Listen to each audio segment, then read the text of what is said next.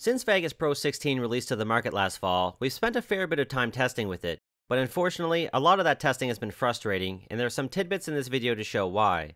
But despite what we believe to be a less than ideal situation for NVIDIA Vegas Pro users right now, we wanted to finally publish something that tackled performance as it stands today, regardless of how strange or poor it might be at times.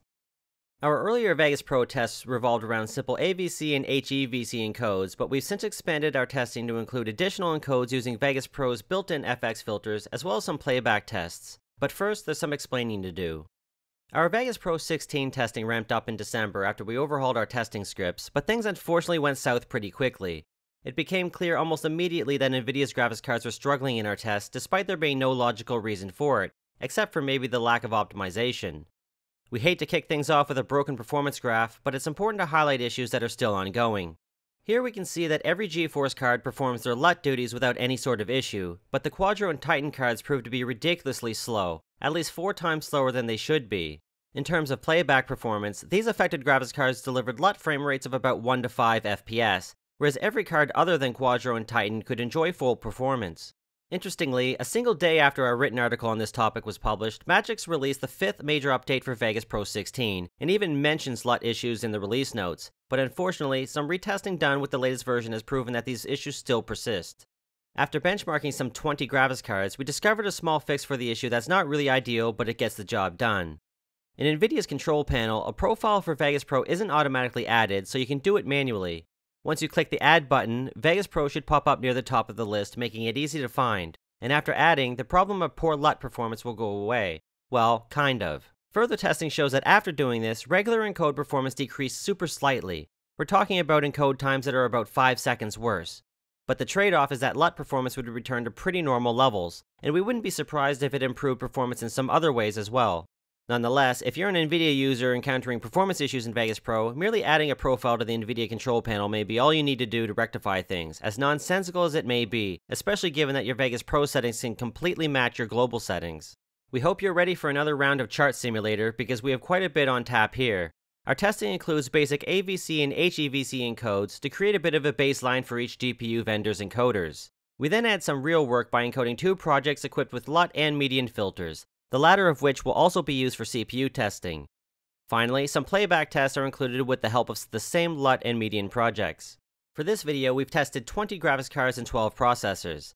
Since this is a workstation-focused video, we've included the full stack of relevant Quadros and Radeon Pros that we have, as well as NVIDIA's Titan XP and Titan RTX.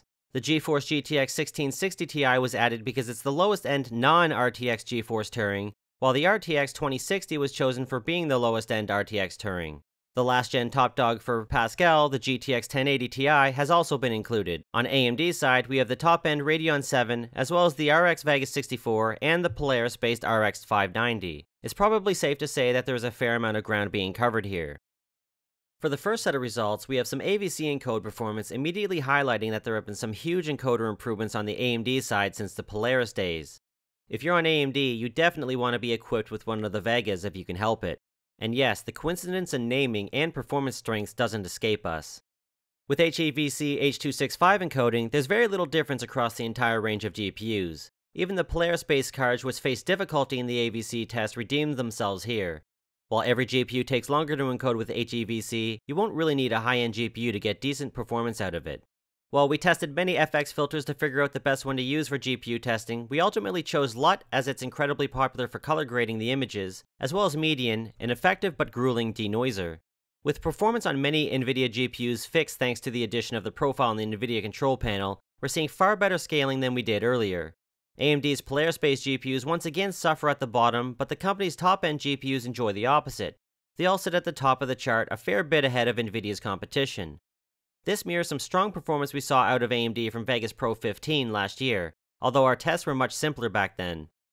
The duration of the clip for our median test is shorter than it is for the LUT test, but despite that, most of AMD's Polaris cards took even longer for this second encode, while the highest end Radeons once again enjoy sitting on the top, delivering super strong performance. Even the RX 590 managed to keep up with a card like the Titan RTX, so we definitely feel like there is some optimization that could be done to improve performance on the Nvidia side. We've seen that graphics cards can scale well in Vegas Pro, but so too can CPUs. With this chart, we can see a clear difference between the top and the bottom of the stack, with the lowly 4-core Ryzen 5 2400G proving itself to be anything but a proper workstation chip. AMD's and Intel's top-end chips naturally sit at the top, while both the 8-core Intel 9900K and AMD 2700X score about the same level of performance. There are some anomalies here though, such as how the AMD 16-core 2950X scores better than the 24-core 2970WX. This could be tied to odd regression issues that occur on AMD's highest-end Threadrippers, a subject we talked about on the site before. We'll toss a link in the description for those who might want to read into it more. In a recent performance deep dive we did on the website for Blender 2.8, we found that sometimes you can get away with a low-end CPU as long as your GPU is competent enough. Vegas Pro is different because both the CPU and GPU are heavily used, so effectively, the better you have of each, the better your overall experience is going to be. We can prove that with this graph, taking a look at heterogeneous rendering, which happens to be the default. For its price, the 2400G is a great processor, but is clearly not suited for heavy workloads, like encoding and rendering. Granted, a chip like the 2700X costs a fair bit more than the 2400G, but the differences in performance is huge for work like this. It's only at the very top end of the CPU ladder that diminishing gains will be seen. For capturing playback performance, we used the same Median project as before and a slightly edited LUT one. We configured the viewport quality as best full and recorded playback of about 30 seconds. For each run, each clip was allowed to play through twice, with the third run being the one that's recorded. This was done to help smooth out hiccups that throw off tabulated results. LUT isn't nearly as aggressive on GPU hardware like Median is, but you'll still want reasonable enough hardware to pull it off without issue, and to reduce possible hitching. If you have issues with LUT performance, you are likely to run into other performance issues as well. Our chosen footage was technically 59 frames per second, so we're not going to see that perfect 60 FPS here. This graph requires a bit more of an explanation. Remember the NVIDIA performance anomalies we talked about? Similar oddities crept into the median playback test, where many GPUs could simply not play back the scene without a major struggle. Whereas the poor LUT performance on NVIDIA seen earlier primarily plagued Quadro and Titan, some GeForces didn't fare well here either. The median effect is simply grueling, and it shows. But we again come to another caveat. Even with some of the GPUs that fell to the bottom of this chart, there were times in manual testing when we'd see fairly decent frame rates. The problem is that it would never be guaranteed. Some of the GPUs that place well here may not have on the very next run. It's very sporadic. But again, AMD's Vega-based GPUs ultimately survive just fine. A lot of testing, troubleshooting, and retesting went into this video, so it's good that a lot of interesting information came from it. At the same time, it's unfortunate that so much of the NVIDIA performance was hit or miss. We've talked more to NVIDIA since our article was published on the website and know that things are being looked into, so we hope to see improvement in the future. And since Magix released a new update of Vegas Pro that mentioned LUT performance, it seems like the issue is definitely on that company's radar as well, although in our testing, the newest version didn't fix the issues we talked about. Given the current NVIDIA situation with Vegas right now, Radeon wins as the go-to choice for the software without question. Even when NVIDIA's GPUs did perform well, AMD still topped the most important charts with its Vega-based GPUs. It can be argued that CPUs are technically better for encoding, but GPU-based encoding has come a long way over the years, and it's becoming increasingly unlikely that you'll notice a quality difference between the two types of encodes. You'll notice the encode time differences, however. In our testing, adding our Titan XP gave a 300% boot up to most heterogeneous comparisons. There are some workstation scenarios where a GPU may be the only thing that matters, but that's not the case with Vegas. While the GPU is extremely important, the better your CPU is, the better the overall encode performance is going to be. And with that, we're never done testing, so we'll definitely be revisiting Vegas Pro again down the road. But for now, we'll end it here and encourage you to subscribe to our channel if you enjoy this type of content. We've been a little slow in recent months, but do hope to pick it up with plans to tackle NVIDIA's Titan RTX in more depth soon, as well as Blender 2.8.